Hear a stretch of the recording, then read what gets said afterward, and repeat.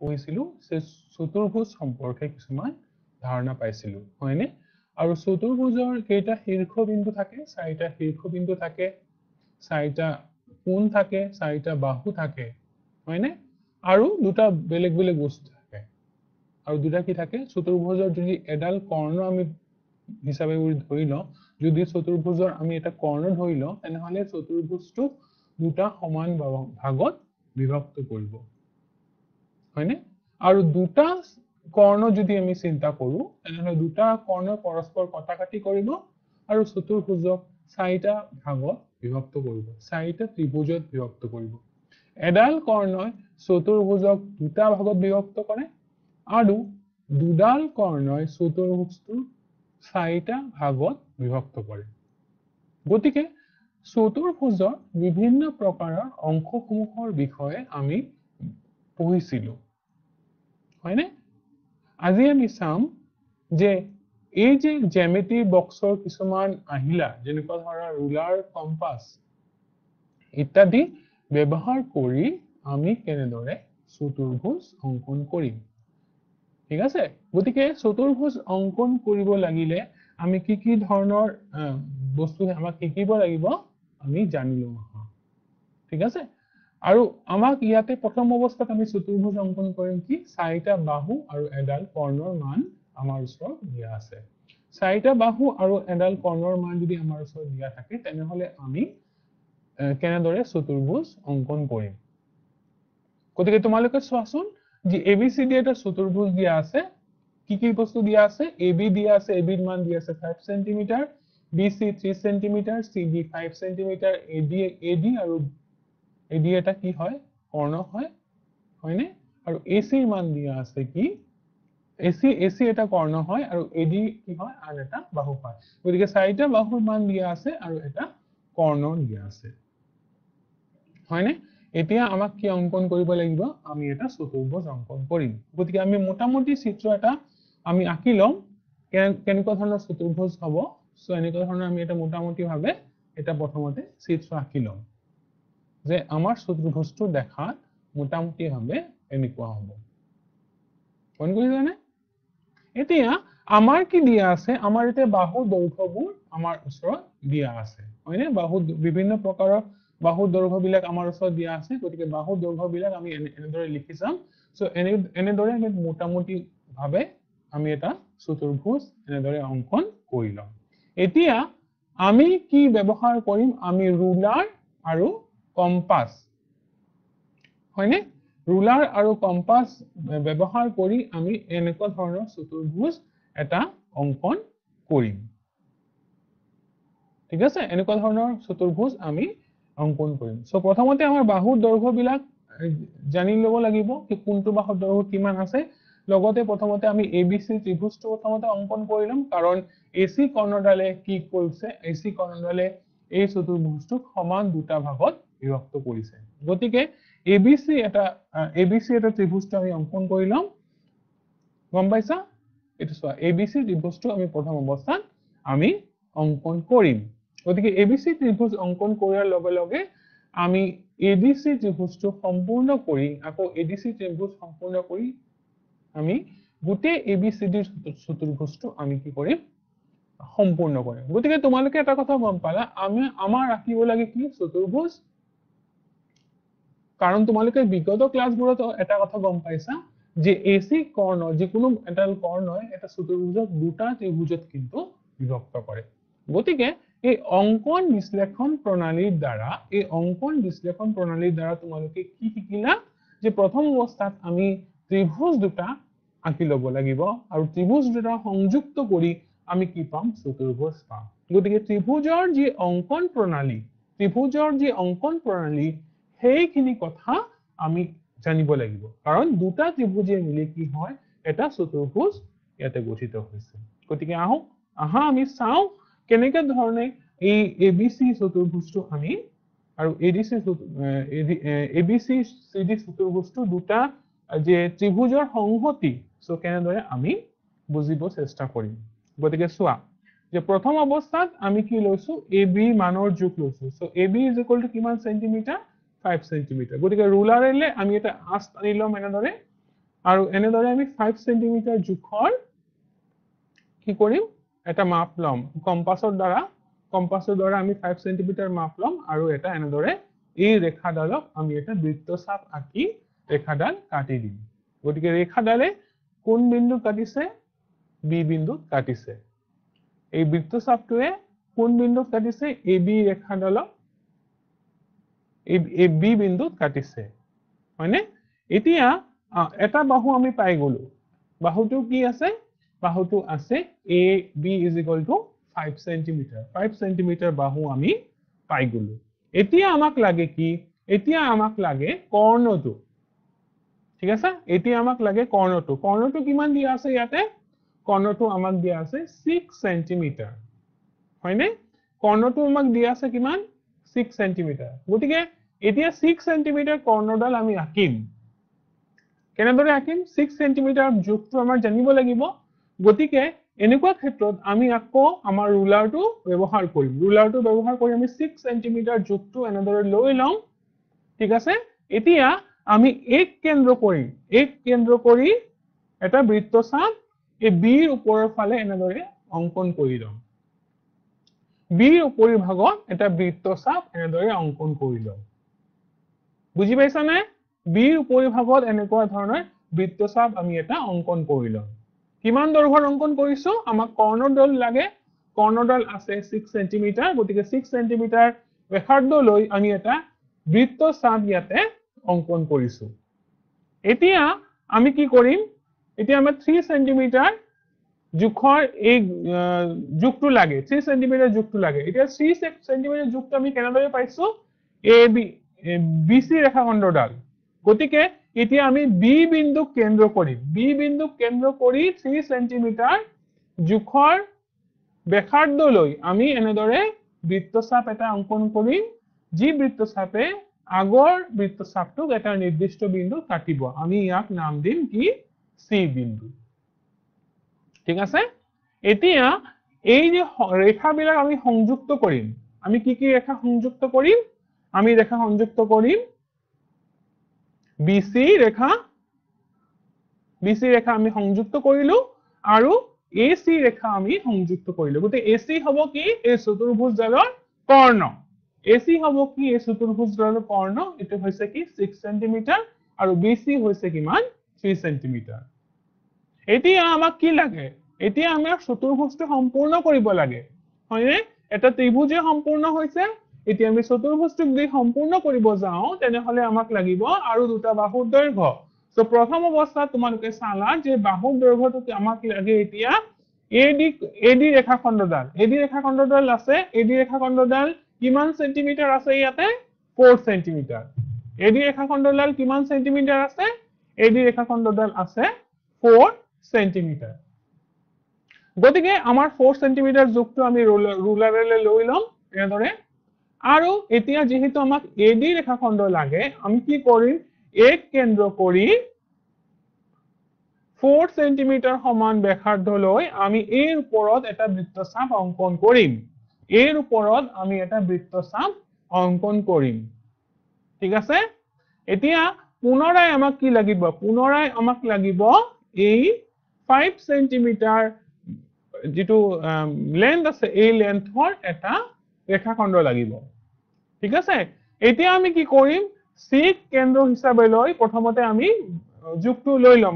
ৰুলাৰেৰে জোখটো লৈ ল'ম যে ফাইভ চেণ্টিমিটাৰ যিহেতু আমাক ফাইভ চেণ্টিমিটাৰ ৰেখাখণ্ড লাগে সেইকাৰণে ফাইভ চেণ্টিমিটাৰ আমি ৰুলাৰেৰে জোখটো লৈ ল'ম।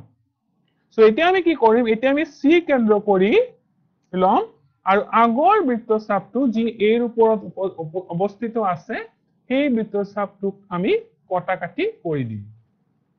ঠিক আছে? চ' এতিয়া এই যে ৰেখাবিলাক আমি সংযুক্ত কৰি দিম আমি ৰেখাবিলাক কি কি সংযুক্ত কৰিলো? আমি এ ডি আৰু এ চি চৰি এ ডি আৰু ডি চি ৰেখাখণ্ডডাল সংযুক্ত কৰিলো। গতিকে এনেকুৱা ধৰণে কি হ'ল? চতুৰ্ভুজ এটা গঠন হ'ল। ঠিক আছে? এনেকুৱা ধৰণৰ কি গঠন হ'ল চতুৰ্ভুজ গঠন হ'ল। গতিকে আমি প্ৰথমতে দুটা ত্ৰিভুজ অংকন কৰি লৈছো দুটা ত্ৰিভুজ অংকন কৰি আমি দুটা ত্ৰিভুজ এনেদৰে কৰ্ণৰ সৈতে লগ লগাই আমি চতুৰ্ভুজটো কি কৰিলো সম্পূৰ্ণ কৰিলো। ঠিক আছে? গতিকে এ বি চি ডি হৈছে অংকন কৰিবলগীয়া চতুৰ্ভুজ। ঠিক আছে? গতিকে আহা চাওঁ বেলেগ এটা প্ৰব্লেম এতিয়া কি দিয়া আছে? আমাৰ চাৰিটা বাহুৰ দৈৰ্ঘ্য দিয়া আছে আৰু এটা কোণ দিয়া আছে। কি কি দিয়া আছে? যোৱা অলপ আগতে আমি কি চালো? যে কৰ্ণ দুডাল দিয়ে কৰ্ণ এডাল দিয়া আছিলে। হয়নে? কৰ্ণ এডাল দিয়া আছিলে। আৰু এতিয়া চাৰিটা বাহুৰ মাপ দিয়া আছে আৰু এটা কোণ দিয়া আছে। এতিয়া তোমালোকে চতুৰ্ভুজটো অংকন কৰিব লাগে। গতিকে কি কি তথ্য আমাৰ ওচৰত আছে আমি চাওঁ। যে চাৰিটা বাহু দৈৰ্ঘ্য আছে দৈৰ্ঘ্যখিনি দিবই লাগিব। দৈৰ্ঘ্য কেইটা আছে আৰু এটা কোণ আছে। কোণ কিমান? Ninety degree. তাৰমানে এই কোণ যিকোনো এটা কোণ আমাক ধৰি লৈছো এই কোণৰ মান নব্বৈ ডিগ্ৰী। এতিয়া আমি এই চতুৰ্ভুজটো অংকন কৰিব লাগে। গতিকে এটা কোণ নব্বৈ ডিগ্ৰী থাকি এনেকুৱা ধৰণৰ চতুৰ্ভুজ আমি মোটামুটি ভাৱে এটা অংকন কৰি ল'ম। মোটামুটি ভাৱে এনেকুৱা ধৰণৰ চতুৰ্ভুজ এটা অংকন কৰি ল'ম যাৰ এটা এটা কোণৰ মান কিমান? নব্বৈ ডিগ্ৰী। ঠিক আছে? আৰু বিভিন্ন ৰেখাখণ্ডৰ ডাল আমি এনেকে জুখি ল'ম মোটামুটি ভাৱে ঠিক আছে? Five centimetre four centimetre six centimetre and three centimetre আৰু এটা কোণ মনত ৰাখিবা কিমান দিয়া আছে? নাইনটি ডিগ্ৰী চ' মোটামুটি চিত্ৰ আঁকি ললো। এটা আমাৰ ওচৰত এনেকুৱা ধৰণৰ চতুৰ্ভুজ এটা আঁকিব লাগিব। কিহৰ সহায়ত আঁকিম আমি? আমি আঁকিম এটা বৃত্তচাপ। বৃত্তচাপৰ সহায়ত আৰু ৰুলাৰৰ সহায়ত কম্পাছৰ সহায়ত আমি এই চতুৰ্ভুজটো সম্পূৰ্ণ কৰিম। ঠিক আছে? যাৰ এই কোণৰ মান কিমান দিয়া আছে? এই কোণৰ মান দিয়া আছে নাইনটি ডিগ্ৰী গতিকে আমি কি প্ৰথম অৱস্থাত আমি যিটো এ বি ৰেখাখণ্ডডাল যিটো মান আছে ফাইভ চেণ্টিমিটাৰ সেইটো আমি ৰেখাখণ্ডডাল আমি আঁকি ল'ম। আমি কিহৰ সহায়ত আঁকিম? আমি আঁকিম এই বৃত্তচাপ পদ্ধতিৰ জৰিয়তে। গতিকে আমি ৰুলাৰটো ল'ম আৰু কম্পাছটো লৈ আমি বৃত্তচাপ এটা অংকন কৰি ফাইভ চেণ্টিমিটাৰ প্ৰথমতে আমি জুখি ল'ম কম্পাছত এনে এনেকুৱা ধৰণে। আৰু আমি এই এটা নিৰ্দিষ্ট বিন্দুত কেন্দ্ৰ কৰি এই ৰেখাখণ্ডডালক কটাকাটিকে আমি এটা বৃত্তচাপ অংকন কৰিলো য'ত ৰেখাখণ্ডডাল এটা নিৰ্দিষ্ট বিন্দুত কাটিছে। সেই বিন্দুটোক আমি এ বি বিন্দু বুলি ধৰি লৈছো। আৰু এ বি হৈছে কি? এই ৰেখাখণ্ডডালৰ দৈৰ্ঘ্য। আমি এটা ৰেখাখণ্ড পাই গলো। কিমান? মান ফাইভ চেণ্টিমিটাৰ ঠিক আছে? আমি কিমান পাই গলো? ফাইভ চেণ্টিমিটাৰ এতিয়া আমি কি অংকন কৰিম? নব্বৈ ডিগ্ৰী কোণৰ মানটো আমি অংকন কৰিম। নাইনটি ডিগ্ৰী এংগেল নব্বৈ ডিগ্ৰী আমি কোণটো আমি এতিয়া অংকন কৰিব যাম। গতিকে কেনেকুৱা ধৰণৰ অংকন কৰিম? চোৱা, আমি কি ব্যৱহাৰ কৰিম আমি ৰুলাৰ আৰু কম্পাছ ব্যৱহাৰ কৰি আমি নাইনটি ডিগ্ৰী এটা কি আঁকিম? কোণ আমি এটা আঁকিম। গতিকে এই পদ্ধতিটো মনত কৰিবা। যদি মনত নাই, যোৱা বিগত ক্লাছ ছেভেনত তোমালোকে পাই আহিছা যে কেনেকুৱা অংকন প্ৰণালীৰ সহায়ত আমি নাইনটি ডিগ্ৰী কোণ অংকন কৰো। ঠিক আছে? গতিকে আমি এতিয়া আমি নাইনটি ডিগ্ৰী কোণ আমি অংকন কৰিব গৈ আছো। তোমালোকে ভালকে মন কৰিবা। এতিয়া আমি নাইনটি ডিগ্ৰী কোণ কেনেকে অংকন কৰিম? এক কেন্দ্ৰ কৰি এই এ বি ৰেখাখণ্ডডালৰ আধাতকে বেছি অলপমান ব্যাসাৰ্ধলৈ এটা ডাঙৰ বৃত্তচাপ অংকন কৰিলো। য'ত এ বি ৰেখাখণ্ডডালক এটা নিৰ্দিষ্ট বিন্দুত কি কৰিছে? কাটিছে। চ' প্ৰথমতে আমি কি কৰিলো? প্ৰথমতে আমি এক কেন্দ্ৰ কৰি এ বি ৰেখাখণ্ডডালৰ এই অলপমান বেছি ব্যাসাৰ্ধলৈ আমি ডাঙৰ এটা বৃত্তচাপ অংকন কৰিলো। অৰ্ধবৃত্ততকে বেছি এটা বৃত্তচাপ আমি অংকন কৰিলো। যি কি কৰিছে যি এ বি ৰেখাখণ্ডডালক এটা নিৰ্দিষ্ট বিন্দু কাটিছে। ঠিক আছে? এতিয়া আমি কি কৰিম? একেখিনি ব্যাসাৰ্ধলৈ একেখিনি ব্যাসাৰ্ধলৈ আমি কি কৰিম? এই এ বি ৰেখাখণ্ডডালৰ যি বিন্দুত বৃত্তচাপটো কাটিছে তাক কেন্দ্ৰ কৰি আমি আৰু এটা বৃত্তচাপ অংকন কৰিম। যি কি কৰিছে? আগৰ বৃত্তচাপটোক এটা নিৰ্দিষ্ট বিন্দু কাটিছে। ঠিক আছে? এতিয়া আমি কি কৰিম? আকৌ একে সমান ব্যাসাৰ্ধ লৈ একে সমান ব্যাসাৰ্ধ লৈ আগৰ বিন্দুটোক কাটা বৃত্তচাপটোক আৰু এটা নিৰ্দিষ্ট বিন্দুত এটা কটাকাটি কৰিছে বুলি আমি ইয়াতে দেখা পালো। হয়নে? আৰু এটা বৃত্তচাপে কি কৰিছে? বৃত্তচাপটোৱে আৰু এটা বেলেগ এটা বিন্দু কাটিছে। ত' গতিকে আগৰ যি ডাঙৰ এটা বৃত্তচাপ আমি অংকন কৰিছিলো সেই বৃত্তচাপটোত আমি দুটা কাটাকাটি কৰা অংশ আমি এতিয়া দেখিবলৈ পালো গতিকে এতিয়া একো লৰচৰ নকৰাকৈ আগৰ নিচিনা ব্যাসাৰ্ধ লৈ আকৌ কি কৰিম আৰু এটা বৃত্তচাপ অংকন কৰিম এইটো কেন্দ্ৰ কৰি ঠিক আছে? এই বিন্দুক কেন্দ্ৰ কৰি ঠিক আছে? এই বিন্দুত কেন্দ্ৰ কৰি আমি এটা আৰু এটা বৃত্তচাপ অংকন কৰিলো ঠিক আছে? এতিয়া আগৰ নিচিনাকে এই বিন্দুটোক আকৌ কেন্দ্ৰ কৰিম এই বিন্দুটোক কেন্দ্ৰ কৰি আৰু এটা বেলেগ বৃত্তচাপ আমি অংকন কৰিম ঠিক আছে? চ' এনেদৰে আমি কাটাকাটি কৰা অংশটো আমি পাই গলো। এতিয়া আমি এই বিন্দুটোৰ কিবা এটা নাম ইয়াত আমি দি দিম। কিবা নাম দি এতিয়া আমি সংযুক্ত কৰিম ৰেখাখণ্ডডাল। ঠিক আছে? ৰেখাখণ্ডডাল আমি সংযুক্ত কৰিম। এতিয়া তোমালোকে মন কৰা যে আমাৰ এই সংযোগী ৰেখাডাল এডি আমাৰ কিমান দিয়া আছে? এডি ৰেখাখণ্ডডালৰ দৈৰ্ঘ্য কিমান দিয়া আছে? এডি ৰেখাখণ্ডডালৰ দৈৰ্ঘ্য দিয়া আছে থ্ৰী চেণ্টিমিটাৰ এডি ৰেখাখণ্ডডালৰ দিয়া আছে থ্ৰী চেণ্টিমিটাৰ গতিকে আমাৰ ইমান ডাঙৰ নালাগে। আমাৰ ইমান ডাঙৰ ৰেখাখণ্ড নালাগে, আমাৰ অকল থ্ৰী চেণ্টিমিটাৰ লাগিব। চ' থ্ৰী চেণ্টিমিটাৰ আমি কেনেদৰে জুখিম? আমি ৰুলাৰ আৰু কম্পাছৰ সহায়ত আমি এনেদৰে থ্ৰী চেণ্টিমিটাৰ আমি জুখি লওঁ। থ্ৰী চেণ্টিমিটাৰটো এনেদৰে কাটি ল'ম। ঠিক আছে? কাৰণ আমাৰ থ্ৰী চেণ্টিমিটাৰহে লাগে। ঠিক আছে? তাৰমানে আমি মাৰ্ক কৰি দিলো। এডিৰ মান কিমান আছে? থ্ৰী চেণ্টিমিটাৰ এতিয়া এই যে চৌতুৰ্ভুজটো আমি সম্পূৰ্ণ কৰিবলৈ আৰু কিছুমান তথ্য লাগিব। আমাৰ ছিক্স চেণ্টিমিটাৰ ফ'ৰ চেণ্টিমিটাৰ লাগিব ফ'ৰ চেণ্টিমিটাৰ লাগিব। ত' ফ'ৰ চেণ্টিমিটাৰ আমি কি কৰিম? আকৌ বি বিন্দুত আমি কেন্দ্ৰ কৰিম। বি বিন্দুৰ কেন্দ্ৰ কৰি ফ'ৰ চেণ্টিমিটাৰ সমান আমি ব্যাসাৰ্ধ লৈ এটা বৃত্তচাপ এনেদৰে অংকন কৰি দিম। ঠিক আছে? আকৌ আমাক কি লাগিব? আকৌ আমাক লাগিব C D is equal to কিমান চেণ্টিমিটাৰ ছিক্স চেণ্টিমিটাৰ আকৌ আমি ছিক্স চেণ্টিমিটাৰ কি কৰিম? ছিক্স চেণ্টিমিটাৰ আমি এনেদৰে ব্যাসাৰ্ধ ল'ম। এতিয়া আমি কি কৰিম? ডি কেন্দ্ৰ হিচাপে লৈ ছিক্স চেণ্টিমিটাৰ ব্যাসাৰ্ধ লৈ আমি কি কৰিম? আৰু এটা বৃত্তচাপ এনেদৰে অংকন কৰি দিম যি চি বিন্দুত থাকিব। এতিয়া আমি দুটা ৰেখা আমি সংযুক্ত কৰি দিম। কি কি ৰেখা আমি সংযুক্ত কৰিম? চোৱা। চ' এতিয়া আমি সংযুক্ত কৰিব লাগিব কি কি ৰেখা? বি চি আৰু ডি চি ৰেখা। গতিকে বি চি আৰু ডি চি ৰেখা যদি সংযুক্ত কৰো তেনেহলে আমাৰ চতুৰ্ভুজটো কিন্তু সম্পূৰ্ণ হৈ যাব। ঠিক আছে? গতিকে আমাৰ আঁকিবলগীয়া চতুৰ্ভুজটো আমি চাৰিটা বাহু দিয়া আছে আৰু এটা কোণৰ মান দিয়া আছে। এটা কোণৰ মান কিমান দিয়া আছে? ইয়াতে নব্বৈ ডিগ্ৰী। নব্বৈ ডিগ্ৰী কোণৰ মান ইয়াতে দিয়া আছে।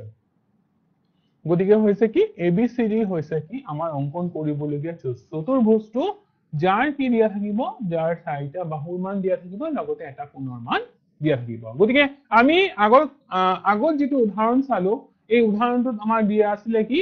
চাৰিটা বাহু আৰু এটা কৰ্ণ।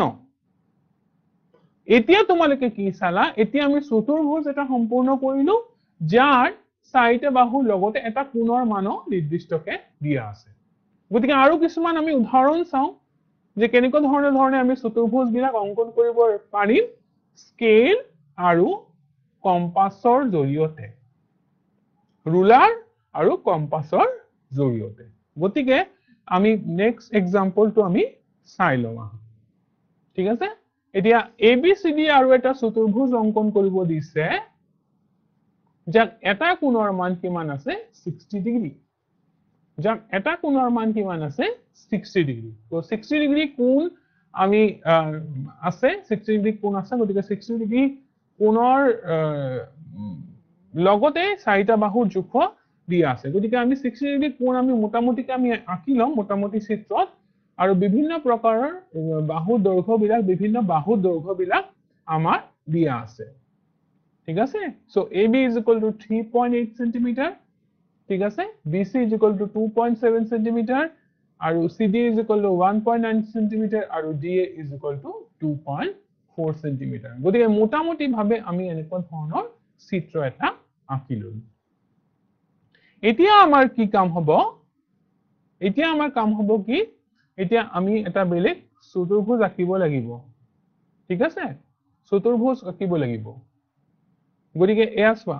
দুটা চতুৰ্ভুজ এটা চতুৰ্ভুজ আঁকিব লাগিব আৰু এই চতুৰ্ভুজটোৰ যে মান কোন কোণৰ মান কেইটা তোমালোকৰ ওচৰত দাঙি ধৰা হৈছে।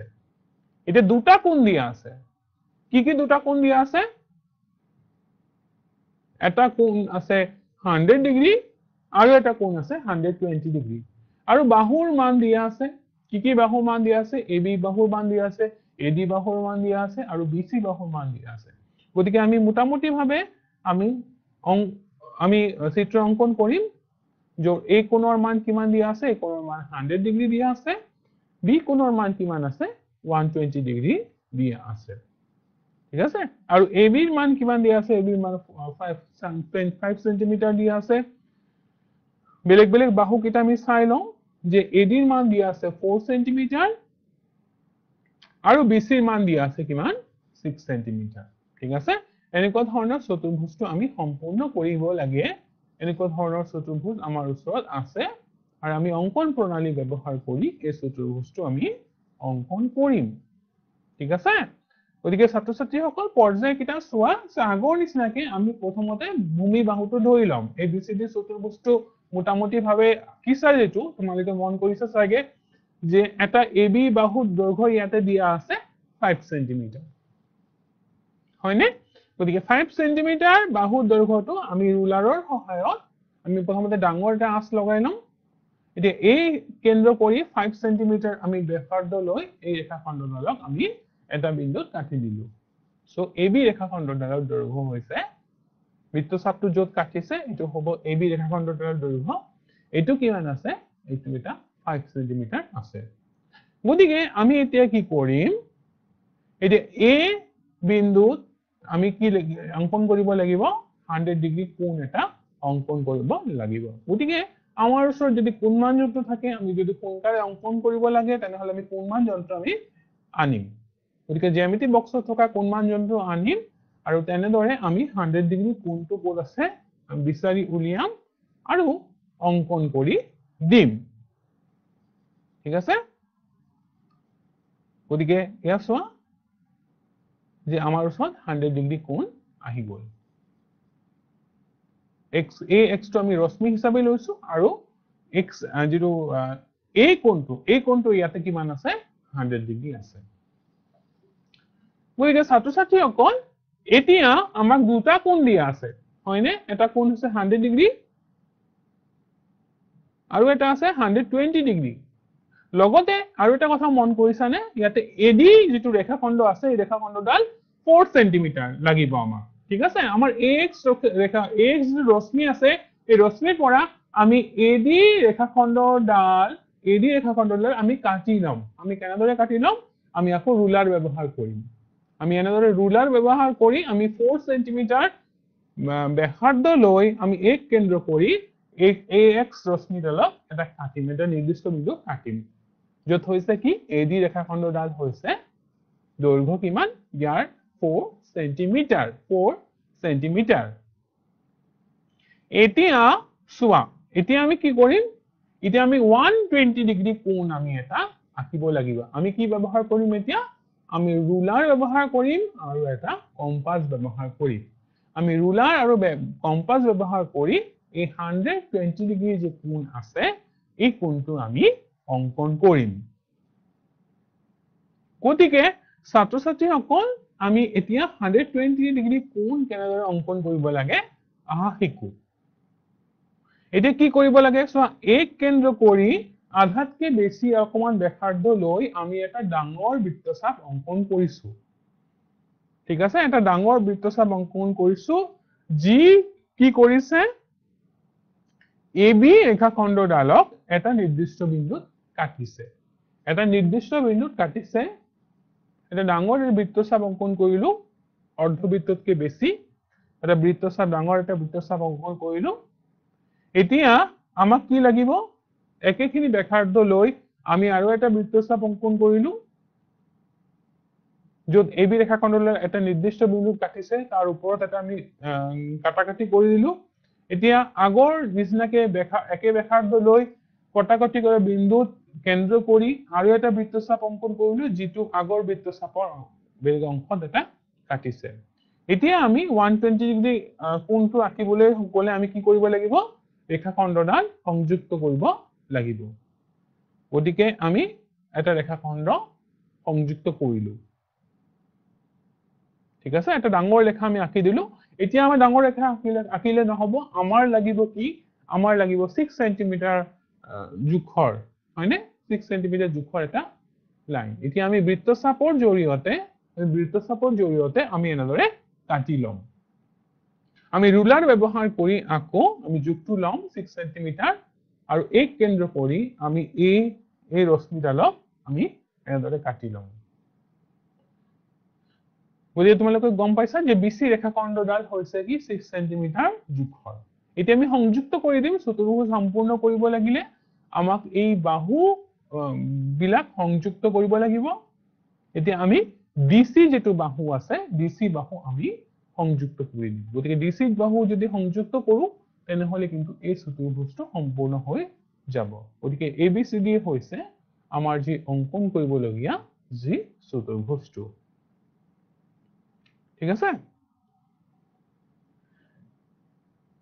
এতিয়া চোৱা যে কি কি দিয়া আছে? চতুৰ্ভুজ আকৌ অংকন কৰিব দিছে। চতুৰ্ভুজত কি কি আছে? এবিচি ডি এটা চতুৰ্ভুজ অংকন কৰিব লাগে যাৰ বাহুৰ দৈৰ্ঘ্য কেইটা দিয়া আছে। A B is equal to two point nine centimetre D C is equal to three point two centimetre D A is equal to centimetre A কোণ ওৱান টুৱেণ্টি ডিগ্ৰী বি কোণ ছেভেণ্টি ফাইভ ডিগ্ৰী গতিকে মোটামুটিভাৱে আমি এটা চিত্ৰ আঁকি লওঁ য'ত এই কোণৰ মান দিয়া থাকিব ওৱান টুৱেণ্টি ডিগ্ৰী গতিকে বিভিন্ন বাহু কেইটাৰ দৈৰ্ঘ্য আমি মোটামুটিভাৱে এটা থুলমূলকে আমি থুলমূল চিত্ৰ যাক কয় থুলমূলকে আমি চতুৰ্ভুজটো এনেদৰে আঁকি ল'ম। এতিয়া আমাৰ যিটো কাম পৰৱৰ্তী এটা উদাহৰণ যদি আমি চাওঁ তেনেহলে তিনিটা বাহুৰ দৈৰ্ঘ্য আৰু দুটা কৰ্ণৰ মান যদি দিয়া থাকে তেনেহলে আমি চতুৰ্ভুজটো আমি কেনেদৰে অংকন কৰিম? ঠিক আছে? এতিয়া চোৱা যে এই চতুৰ্ভুজটোত কি কি ধৰণৰ তথ্য আমাৰ ওচৰত দিয়া আছে।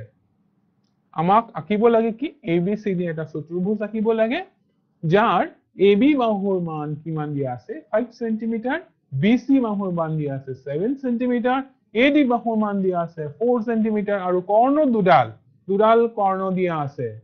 তোমালোকে জানা, আমি যদি চতুৰ্ভুজৰ দুডাল কৰ্ণই এই চতুৰ্ভুজটো কি? বিভিন্ন ভাগত বিভক্ত কৰে, গতিকে কৰ্ণ দুডালৰ মানো তোমালোকৰ ওচৰত দাঙি ধৰা হৈছে নাইন চেণ্টিমিটাৰ আৰু ছিক্স চেণ্টিমিটাৰ নাইন চেণ্টিমিটাৰ আমি ছিক্স চেণ্টিমিটাৰ কৰ্ণ দুটা তোমালোকৰ ওচৰত আহিছে।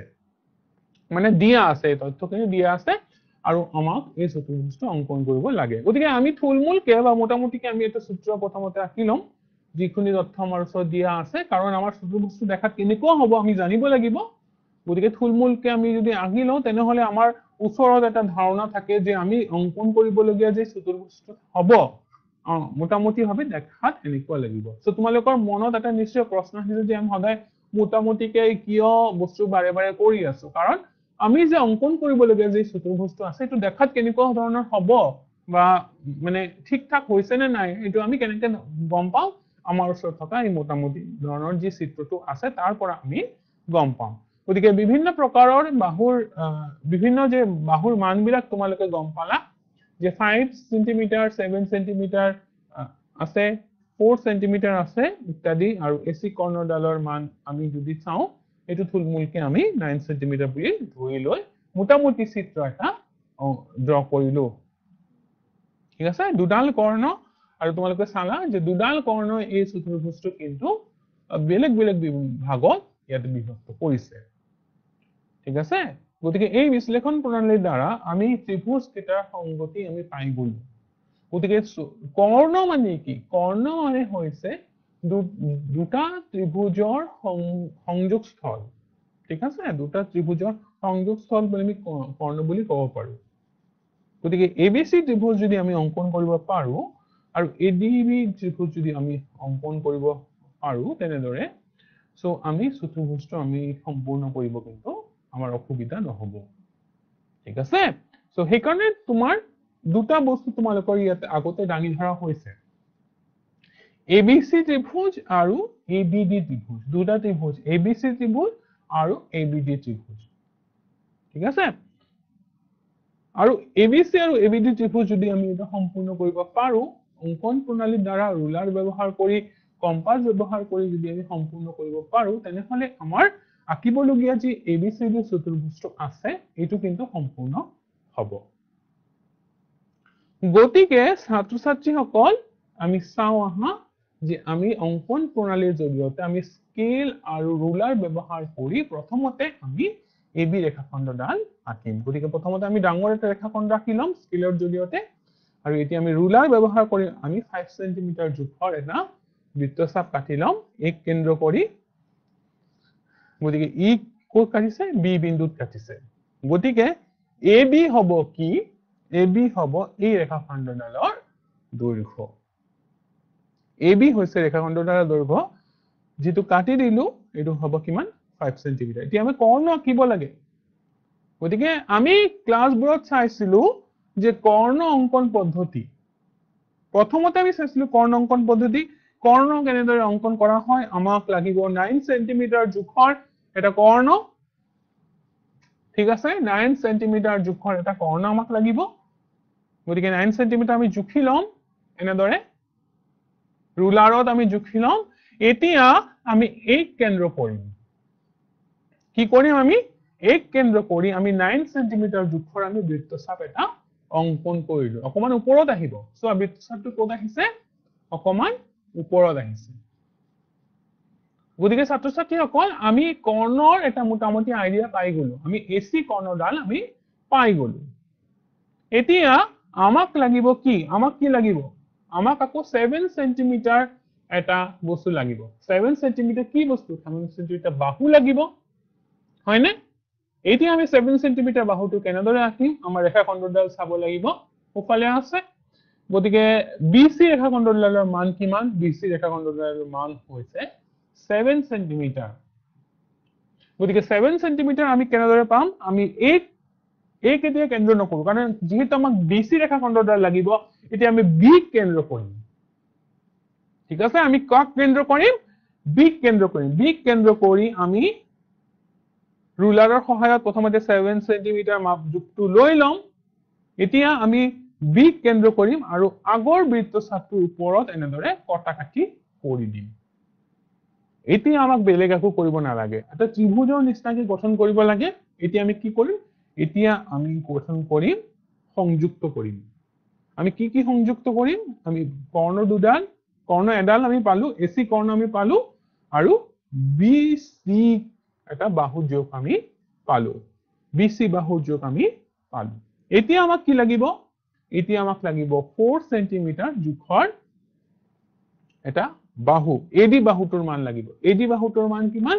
এডি বাহুটোৰ মান হৈছে ফ'ৰ চেণ্টিমিটাৰ এতিয়া ফ'ৰ চেণ্টিমিটাৰ আমি ৰুলাৰৰ সহায়ত জুখি ল'ম। ঠিক আছে? আমি কম্পাছৰ দ্বাৰা আমি ৰুলাৰৰ সহায়ত আমি জুখি ল'ম।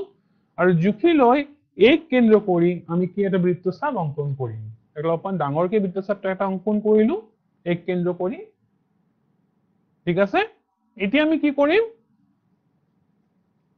এতিয়া আমি কৰ্ণ দুডাল আঁকিম প্ৰথমতে কৰ্ণ দুটা আঁকি আঁকি লৈছো, ঠিক আছে? কৰ্ণ দুটা আঁকি লৈছো কিন্তু এতিয়া আমি কৰ্ণ দুডাল লাগিব। কৰ্ণটোৰ জোখ কিমান আছে? কৰ্ণটোৰ জোখ আছে ছিক্স চেণ্টিমিটাৰ আমি ছিক্স চেণ্টিমিটাৰ ৰুলাৰৰ সহায়ত আমি জুখি ল'ম। ঠিক আছে? ছিক্স চেণ্টিমিটাৰ আমি ৰুলাৰৰ সহায়ত জুখি ল'ম। এতিয়া আমি এক কেন্দ্ৰ কৰিম। চৰি বিক কেন্দ্ৰ কৰিম। মনত কৰিবা, এতিয়া আমি বিক কেন্দ্ৰ কৰিম। আৰু বিক কেন্দ্ৰ কৰি আগৰ যিটো বৃত্তচাপ আমি ইয়াৰ ওপৰত পাইছিলো তাৰ ওপৰত বৃত্তচাপটো আমি অংকন কৰি কটা কাটি কৰাব কৰিব দিম। মানে তোমালোকে চালা যে এটা ডি বিন্দু পালো আৰু ডি বিন্দুত এটা কটাকাটি হৈছে। দুটা বৃত্তচাপ কিন্তু ইয়াতে কটাকাটি কৰিছে। ঠিক আছে? এতিয়া আমি সংযুক্ত কৰিম। এই ৰেখাবিলাক সংযুক্ত কৰিম। চোৱা এডি ৰেখা সংযুক্ত কৰিম যাৰ মান ফ'ৰ চেণ্টিমিটাৰ দিয়া আছে। আৰু বি ডি ৰেখাখণ্ডডাল আমি আকৌ সংযুক্ত কৰিম। বি ডি ৰেখাখণ্ডডাল কিন্তু A B C A B C D চতুৰ্ভুজৰ কিন্তু কৰ্ণ এডাল পাই গলো। আমি দুটা কৰ্ণ পালো এতিয়া। আমি পালো এচি কৰ্ণ, আমি এটা পালো বিডি কৰ্ণ। আমি এচি কৰ্ণডাল পালো আৰু বিডি কৰ্ণডাল পালো। গোটেই দুটা কৰ্ণ আমি আঁকিলো বাহু কেইটা আঁকিলো। এতিয়া কামটো বাকী থাকিল কি? কোনটো সংযুক্ত কৰিম আমি? কোনটো সংযুক্ত কৰিম এতিয়া? Very good C D C D আমি সংযুক্ত কৰিম। গতিকে চি ডি সংযুক্ত কৰিলে আমাৰ চতুৰ্ভুজটো কিন্তু সম্পূৰ্ণ হৈ উঠিব। ঠিক আছে? চি ডি চি ডি যিটো সংযুক্ত কৰিম এই গোটেইখিনি চতুৰ্ভুজটো সম্পূৰ্ণ হৈ উঠিব। গতিকে ছাত্ৰ ছাত্ৰীসকল আমি যে বিভিন্ন প্ৰকাৰৰ চতুৰ্ভুজ বিলাক আমি অংকন কৰিলো হয়নে? বিভিন্ন প্ৰকাৰৰ চতুৰ্ভুজ বিলাক অংকন কৰিলো। কেনেকুৱা ধৰণৰ চতুৰ্ভুজ আমি অংকন কৰিলো যাৰ বাহুবিলাক দিয়া থাকে মধ্যৱৰ্তী কোণবিলাক দিয়া থাকে হয়নে? মধ্যৱৰ্তী কোণবিলাক দিয়া থাকে আৰু কৰ্ণৰ দৈৰ্ঘ্য যদি আমাৰ ওচৰত দিয়া থাকে আমি বিভিন্ন প্ৰকাৰৰ চতুৰ্ভুজ এনেদৰে অংকন কৰিব পাৰিম। গতিকে চতুৰ্ভুজৰ অংশবিলাক তোমালোকে সদায় মনত ৰাখিবা। সদায় যে আমাৰ এইম এটা কি থাকিব চতুৰ্ভুজ অংকন কৰা। চতুৰ্ভুজ অংকন আমি কেনেদৰে কৰিম? আমাৰ জানিব জানিব লাগিব? আমাৰ বাহু জানিব লাগিব। হয়নে? আমাৰ কোন জানিব লাগিব? আমাৰ বাহু জানিব লাগিব। কৰ্ণবিলাক জানিব লাগিব। গতিকে কৰ্ণৰ সহায়ত আমি দুটা ত্ৰিভুজ সম্পূৰ্ণ কৰি ত্ৰিভুজ দুটা যদি সংযুক্ত কৰি দিওঁ তেনেহলে চতুৰ্ভুজ আমাৰ গঠন হৈ যাব। আৰু কোণবিলাক তোমালোকে নাইনটি ডিগ্ৰী কোণ? কেনেদৰে অংকন কৰিব লাগে তোমালোকে আজি শিকিলা?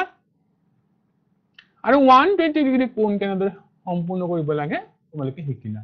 গতিকে ছাত্ৰ ছাত্ৰীসকল আশা কৰিছো আজিৰ ক্লাছটো তোমালোকে ভালকে বুজি পাইছা। ধন্যবাদ।